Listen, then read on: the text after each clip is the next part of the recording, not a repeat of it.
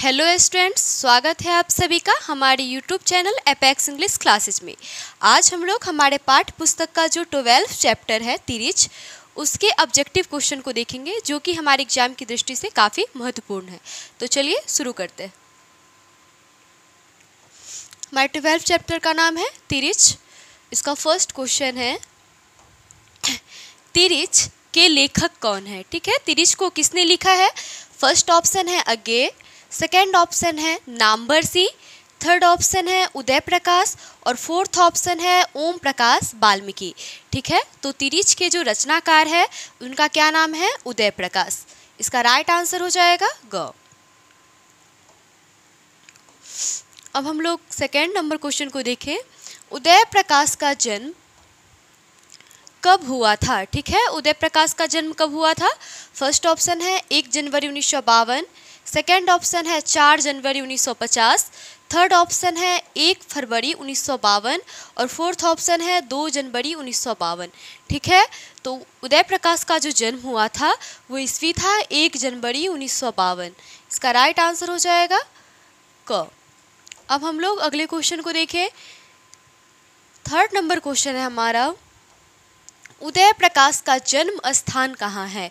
ठीक है, उन्होंने कहाँ पे जन्म लिया? First option Anuppur Madhya Pradesh. Second option है कांगड़ा, हिमाचल प्रदेश. थर्ड ऑप्शन है जयपुर, राजस्थान. और फोर्थ ऑप्शन हमारा है वाराणसी, उत्तर प्रदेश. ठीक है? तो इसका जो राइट आंसर हो जाएगा वो क्या होगा? अनूपपुर मध्य प्रदेश. अनूपपुर मध्य प्रदेश का एक जिला है और मध्य प्रदेश राज्य है. ठीक है? तो इसका राइट आंसर हो जाएगा क.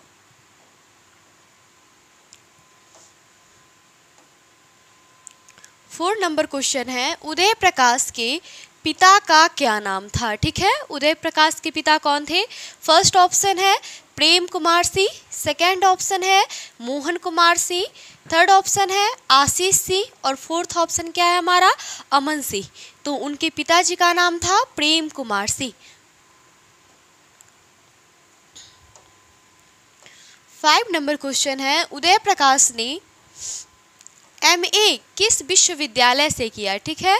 एम ए किस विश्वविद्यालय से किया? फ़र्स्ट ऑप्शन जोधपुर विश्वविद्यालय। सेकेंड ऑप्शन है श्रीनगर विश्वविद्यालय। थर्ड ऑप्शन है हमारा सागर विश्वविद्यालय। और फोर्थ ऑप्शन क्या है? दिल्ली विश्वविद्यालय। तो उन्होंने एम ए किया है सागर विश्वविद्यालय से। इसका राइट आंसर हो जाएगा सागर विश्वविद्यालय, ग। ठीक है? हमारा ग ऑप्शन इसका राइट आंसर होगा सिक्स क्वेश्चन को देखिए, सिक्स नंबर क्वेश्चन को। उदय प्रकाश जी किस पत्रिका का, के संपादन विभाग में काम किया? ठीक है? उदय प्रकाश जी ने किस पत्रिका के संपादन विभाग में काम किया? तो फ़र्स्ट ऑप्शन है जनयोग, सेकेंड ऑप्शन है विद्यार्थी, थर्ड ऑप्शन है दिनमान और फोर्थ ऑप्शन है इनमें से कोई नहीं। ठीक है? तो इसका जो राइट आंसर हो जाएगा वो क्या होगा? दिनमान। दिनमान जो पत्रिका थी, उसके संपादन विभाग में इन्होंने काम किया था। किसने? उदय प्रकाश ने। सेवन नंबर क्वेश्चन है, उदय प्रकाश जी किस पत्रिका के सहायक संपादक थे संपादक थे, ठीक है? सहायक संपादक बोल रहा है तो यहाँ पे देखेंगे फ़र्स्ट ऑप्शन संडे मेल जो नई दिल्ली की थी, नई दिल्ली में जो छपती थी फ़र्स्ट सेकेंड ऑप्शन है इसका आलोचना थर्ड ऑप्शन है जनयुग, और फोर्थ ऑप्शन है इनमें सभी, ठीक है? तो ये जो इसका राइट आंसर हो जाएगा वो क्या होगा? संडे मेल जो नई दिल्ली में प्रकाशित होती थी Sunday Mail is the right answer क इसका सही उत्तर होगा। एट नंबर क्वेश्चन है हमारा, उदय प्रकाश जी किस अंग्रेज़ी पत्रिका का संपादन किया करते थे? ठीक है? उदय प्रकाश जी किस अंग्रेज़ी पत्रिका का संपादन किया करते थे? फ़र्स्ट ऑप्शन है संडे मेल सेकेंड ऑप्शन है एमिनेंस थर्ड ऑप्शन है दिनमान और फोर्थ ऑप्शन है इनमें से कोई नहीं। ठीक है? तो इसका जो राइट आंसर हो जाएगा वो क्या होगा? एमिनेंस एमिनेंस उनकी अंग्रेज़ी पत्रिका थी। ठीक है? कैसी पत्रिका थी? अंग्रेज़ी पत्रिका। ये याद रखिएगा। और संडे में जो पत्रिका थी, उसके वो क्या थे? सहायक संपादक थे। क्या थे? सहायक संपादक थे।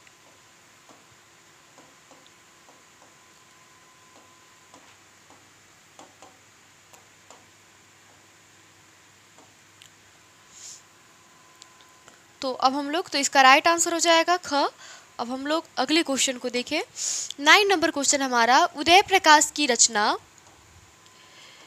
इनमें से कौन नहीं है, ठीक है? फ़र्स्ट ऑप्शन है, दरियाई घोड़ा। सेकंड ऑप्शन है, अंत में प्रार्थना। थर्ड ऑप्शन है, जूठन। और फोर्थ ऑप्शन है अरीबा परीबा ठीक है? तो इसका जो राइट आंसर हो जाएगा वो क्या होगा? जूठन। ये किसकी रचना है? ओम प्रकाश वाल्मीकि की आत्मकथा है जूठन। ओम प्रकाश वाल्मीकि।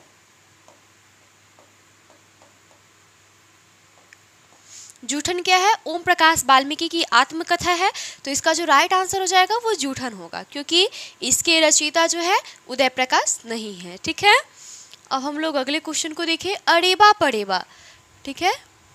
उदय प्रकाश की कृति है, अरेबा पड़ेबा उदय प्रकाश की किस विधा की कृति है, क्या है? ठीक है, अरेबा परेबा क्या है? फ़र्स्ट ऑप्शन है कविता सेकंड ऑप्शन है निबंध थर्ड ऑप्शन है कहानी, और फोर्थ ऑप्शन है व्यंग्य। ठीक है तो अरेबा परेबा जो है, उनका एक कहानी है, इसका राइट आंसर हो जाएगा ग।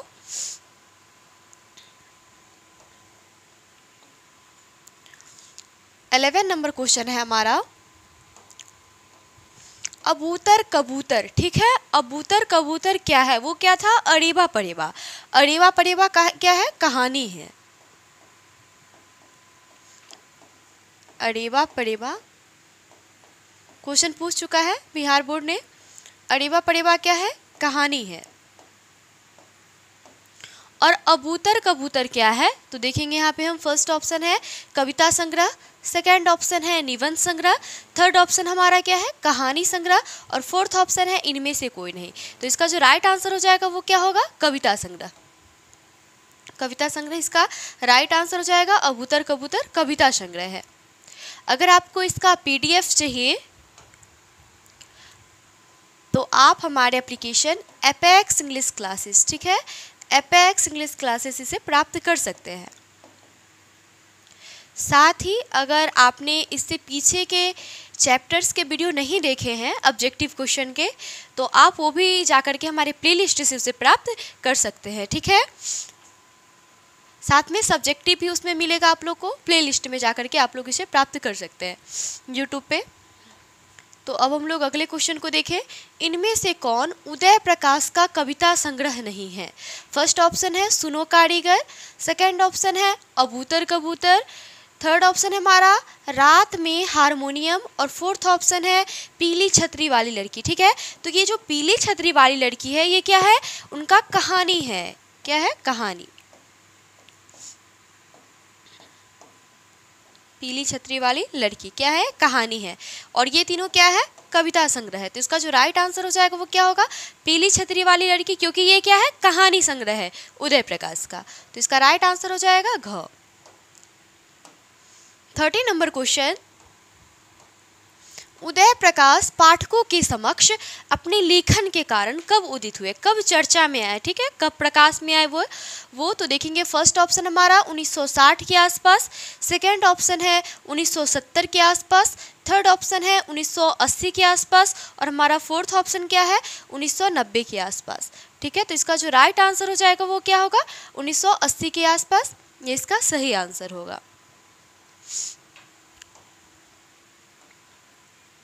फोर्टी नंबर क्वेश्चन है। तिरिच किस प्रकार की रचना है? ठीक है?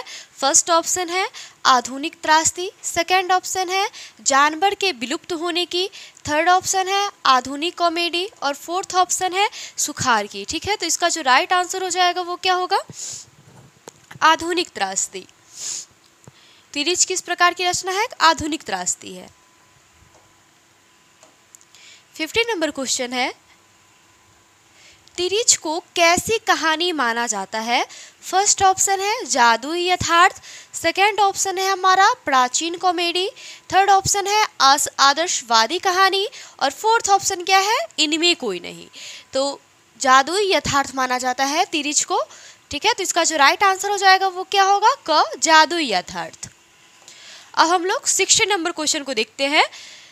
तिरिच क्या है? ठीक है? तिरिच इस कहानी का जो शीर्षक दिया गया है, तिरिच, ये क्या है? तो देखेंगे हम फ़र्स्ट ऑप्शन भयानक तथा विशैला जंतु। सेकेंड ऑप्शन है पक्षी। थर्ड ऑप्शन है घनाबन। और फोर्थ ऑप्शन है हमारा, इनमें से कोई नहीं। ठीक है? तो तिरिच जो है एक भयानक तथा विशैला जंतु है, छिपकिली टाइप का। ठीक है? लिजर्ड एक प्रकार का लिजर्ड है ये।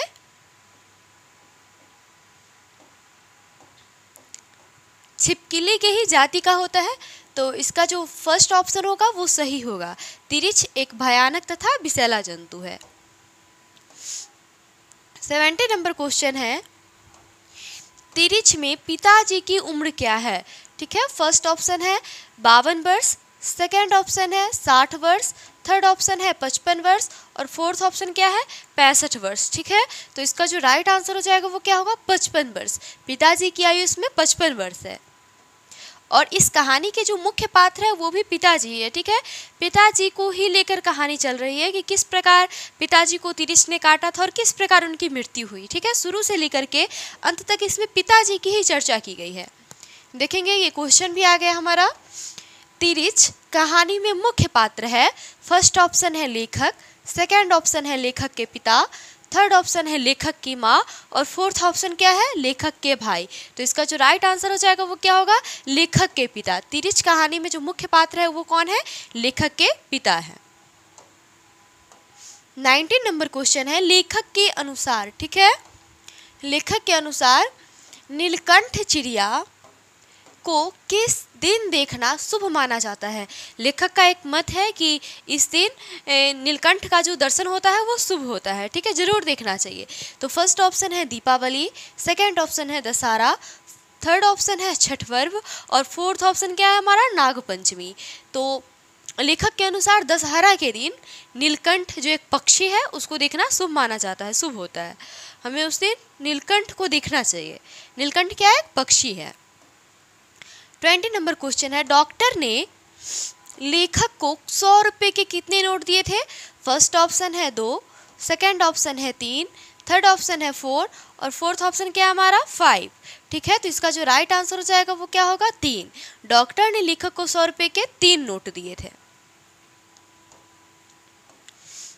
Twenty one number question. लेखक को यह किसने बताया तिरिच में काले नाग से सौ गुना जहर होता है, ठीक है? तिरिच में क्या होता है? काला नाग जो होता है, उसे सौ गुना ज़्यादा जहर होता है। ये लेखक को किसने बताया था? तो फ़र्स्ट ऑप्शन है थानू, सेकेंड ऑप्शन हमारा पिताजी, थर्ड ऑप्शन है डॉक्टर। क्या डॉक्टर के द्वारा बताया गया था? और फोर्थ ऑप्शन है राम अवतार, ठीक है? तो थानू, जो क्या था? लेखक का दोस्त था। थानू का संबंध लेखक से किस प्रकार का है? तो लेखक का दोस्त है थानू। लेखक का दोस्त है। तो थानों के द्वारा बताया गया था लेखक को कि काल तीर्थ में जो होता है, काले नाक से क्या होता है? सौ गुना ज़्यादा अधिक विष होता है, जहर होता है। ठीक है? Twenty two number question. लेखक के दुस्वप्न के सबसे खतरनाक पात्र कौन थे? दुस्वप्न अर्थात खराब सपना, ठीक है? उसके सपने में कौन उसे ज़्यादा डराता था? किस चीज़ से लेखक को ज़्यादा डर लगता है? तो फ़र्स्ट ऑप्शन है हाथी और तिरिच सेकेंड ऑप्शन है कुत्ता और बिल्ली थर्ड ऑप्शन है तिरिस तथा सेन, और फोर्थ ऑप्शन है सांप तथा चमगादड़, ठीक है? तो लेखक को जो डर लगता था सपने में, हाथी और तिरिच से। उसे वो खराब सपना मानते थे। हाथी और तिरिस से उन्हें काफ़ी भय लगता था सपने में। इसका राइट आंसर हो जाएगा क। ट्वेंटी थ्री नंबर क्वेश्चन कुएँ में डालने वाली लाल दवा का क्या नाम था? इसमें आया हुआ है, एक दवा का नाम आया हुआ है जो कुएँ में डाली जाती है और किस कलर की है? वो लाल कलर की। आपसे पूछा जा सकता है। चलिए हम आगे डिस्कस करते हैं इस पर तो इसका ऑप्शन देख लें सोडियम नाइट्रेट सेकेंड ऑप्शन है पोटेशियम परमैंगनेट थर्ड ऑप्शन है नाइट्रोजन नाइट्रेट और फोर्थ ऑप्शन है मैग्नीशियम ऑक्साइड ठीक है, ये सब केमिकल नेम सब है। तो इसका जो राइट right आंसर हो जाएगा वो क्या होगा? पोटेशियम परमैंगनेट इसका जो कलर है वो कौन सा है? लाल. तो आपसे पूछा जा सकता है कि पोटेशियम परमानेंट का कलर किस कलर का होता है? तो ये देखेंगे रेड है, ठीक है? और कुएँ में डालने वाली दवा का नाम पोटेशियम परमैंगनेट इसका राइट right आंसर हो जाएगा ख. लेखक के गाँव से लगभग कितनी दूर सड़क से शहर के लिए बसें गुजरती थी ठीक है? कितनी दूर जाने पर लेखक के गाँव से बसें मिलती थी? इस क्वेश्चन का ये तात्पर्य है तो फ़र्स्ट ऑप्शन हमारा है तीन किलोमीटर सेकेंड ऑप्शन है दो किलोमीटर थर्ड ऑप्शन है पाँच किलोमीटर और फोर्थ ऑप्शन है चार किलोमीटर। तो लेखक के घर से दो किलोमीटर चलने के बाद बसें मिलती थी ठीक है? जो शहर के, के लिए जाती थी। ट्वेंटी फाइव नंबर क्वेश्चन है पंडित राम अवतार, ठीक है? किनका नाम दिया गया है? पंडित राम अवतार क्या थे? फ़र्स्ट ऑप्शन ज्योतिषी। सेकेंड ऑप्शन है शिक्षक। थर्ड ऑप्शन है राजनेता और फोर्थ ऑप्शन है ज्योतिषी और वैद्य, ठीक है? आपको एग्ज़ाम में जो ऑब्जेक्टिव क्वेश्चन दिए जाते हैं, उसमें ये लिखा रहता है कि जो सबसे सटीक जो आंसर है, उसका आंसर देना है, ठीक है? वो आंसर आपको चूज़ करना है। तो देखेंगे यहाँ पे ज्योतिषी, ये भी सही है, ठीक है? लेकिन वो क्या थे? ज्योतिषी और वैद्य। अगर ऑप्शन में आपको ज्योतिषी और वैद्य दोनों दे दे तो ये सही होगा। लेकिन अगर आपको यहाँ पे कोई पुजारी दे दे या कोई अन्य ऑप्शन दे दे तो यहाँ पे जिसका राइट आंसर हो जाएगा वो क्या होगा? ज्योतिषी वो ज्योतिषी भी थे और वैद्य भी थे। इसका राइट आंसर हो जाएगा क्या? घ। तो आपको ऑप्शन के हिसाब से चूज़ करना है। ट्वेंटी सिक्स नंबर क्वेश्चन है, तिरिच कहानी में पिताजी का नाम क्या है? ठीक है? तिरिच कहानी जो है, उसमें पिताजी का क्या नाम दिया गया है? फ़र्स्ट ऑप्शन है राम निहाल प्रसाद। सेकंड ऑप्शन है राम प्रवेश प्रसाद। थर्ड ऑप्शन है राम स्वारथ प्रसाद और फोर्थ ऑप्शन है क्या रामेश्वर प्रसाद? तो लेखक के पिताजी का क्या नाम था? राम स्वारथ प्रसाद था, ठीक है? ग इसका सही उत्तर होगा। अगले क्वेश्चन को देखते हैं। ट्वेंटी सेवन नंबर क्वेश्चन लेखक तिरिच की राख को जलाने जंगल में किसके साथ गए थे? ठीक है किसके साथ गए थे? First option Thanu second option Monu third option Sonu और फोर्थ ऑप्शन क्या है? राहुल। तो थानू के साथ गए थे जो कि लेखक का क्या था? दोस्त था। लेखक का क्या था थानू? दोस्त था। पूछा भी गया है कि थानू कौन था? तो लेखक का दोस्त है। आगे हम देखें उस क्वेश्चन को। आ, या आ ही गया। देखेंगे यहाँ पे, थानू कौन था, ठीक है? फ़र्स्ट ऑप्शन है लेखक का भाई सेकेंड ऑप्शन है लेखक का पड़ोसी थर्ड ऑप्शन है लेखक का दोस्त, और फोर्थ ऑप्शन क्या है, इनमें से कोई नहीं। तो थानू का संबंध लेखक के साथ कैसा है? दोस्त का है। तो लेखक का दोस्त इज़ द राइट आंसर ये सही हो जाएगा। स्टेट बैंक के कैशियर का क्या नाम था? ठीक है? स्टेट बैंक के कैशियर का क्या नाम था? देखिए, यहाँ पे हम फ़र्स्ट ऑप्शन है अग्निहोत्री, सेकेंड ऑप्शन है राम अवतार, थर्ड ऑप्शन है सुमन नाथ और फोर्थ ऑप्शन हमारा क्या है? शोभित नाथ तो स्टेट बैंक के जो कैशियर थे, उनका नाम था अग्निहोत्री। इसका सही उत्तर होगा।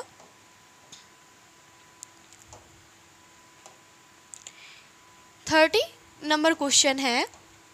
लेखक के पिताजी ट्रैक्टर से कहाँ उतरे थे, ठीक है? उस स्थान का क्या नाम था, ठीक है? फ़र्स्ट ऑप्शन है ऑफ़िस के पास सेकेंड ऑप्शन है मिनरवा टाकिज के पास थर्ड ऑप्शन है विद्यालय के पास और फोर्थ ऑप्शन क्या है? ढाबे के पास। तो इसका जो राइट आंसर हो जाएगा वो क्या होगा? मिनरवा टाकिज के पास। लेखक के पिताजी किस चीज़ से उतरे थे? ट्रैक्टर से। क्वेश्चन आपसे आ सकता है कि लेखक के पिताजी मिनरवा टाकिज के पास किस वाहन से उतरे थे? तो कौन सा था? ट्रैक्टर, ठीक है? तो इसका सही उत्तर होगा ख। तो आज हम लोग इस चैप्टर के इम्पोर्टेंट ऑब्जेक्टिव थर्टी क्वेश्चंस को देखें, ठीक है? थर्टी क्वेश्चंस को, जो कि आपके एग्ज़ाम से काफ़ी इम्पोर्टेंट है, काफ़ी एग्ज़ाम की दृष्टि से काफ़ी इम्पोर्टेंट है तो इसके साथ ही अगर आपको, आपने ये पीछे का वीडियो नहीं देखा है तो आप हमारे चैनल एपेक्स इंग्लिश क्लासेस ठीक है? यूट्यूब पे आप एपेक्स इंग्लिश क्लासेस सर्च कीजिएगा, साथ में प्लेलिस्ट में जाकर के आप इससे पीछे के जितने भी चैप्टर है, उस सारे के भी V I important objective question को देख सकते हैं, ठीक है? जो कि आपके लिए काफ़ी लाभकर है। साथ में आप एपेक्स इंग्लिश क्लासेज के एप्लीकेशन को भी डाउनलोड कीजिए इंस्टॉल करके आप वहाँ पे फ्री टेस्ट भी दे सकते हैं। साथ ही इस, ये सारी पीडीएफ ही आप वहाँ से प्राप्त कर सकते हैं। तो चलिए, मिलते हैं अगले वीडियो में। आपको ये वीडियो कैसा लगा, हमें अपने कमेंट के माध्यम से ज़रूर बताइएगा। साथ में इसे लाइक तथा शेयर भी कीजिए।